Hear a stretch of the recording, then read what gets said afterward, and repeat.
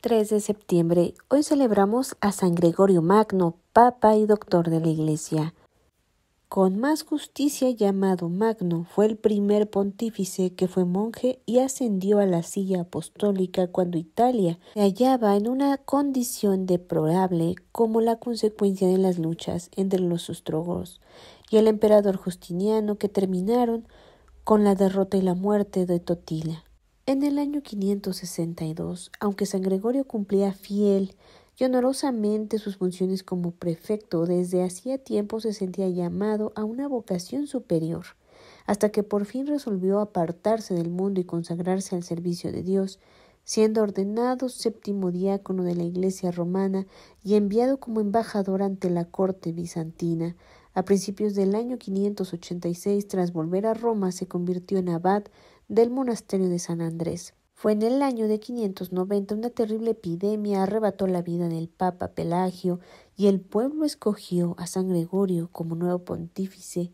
Desde el momento que asumió el cargo de Papa se impuso el doble deber de catequizar y cumplir con la disciplina prohibió el cobro injusto de las primas por entierros en iglesias, por ordenaciones o por conferir el palio, y no permitió a los diáconos dirigir la parte cantada de la misa a menos que fueran escogidos por sus voces más que por su carácter. También destacó como predicador, escogiendo temas del Evangelio del día, y hasta nosotros ha llegado alguna de sus homilías, llenas de elocuencia y sentido común, terminadas con una enseñanza moral que podía adaptarse a cada caso.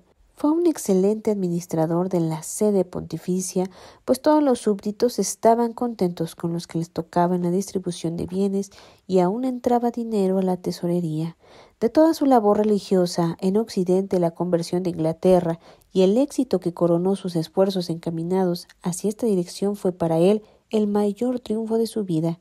Se le reconoce a San Gregorio la compilación del antifonario, la revisión y la reestructuración del sistema de música sacra, la fundación de la famosa Escola Cantorum de Roma y la composición de varios himnos muy conocidos. Pero su verdadera obra se proyecta en otras direcciones.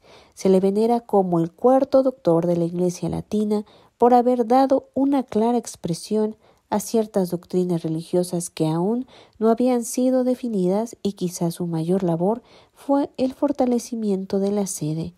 Hoy pidamos a San Gregorio Magno por la unidad de la Iglesia Católica y por la salud de nuestro querido Papa Francisco. San Gregorio ruega por la Iglesia en el mundo.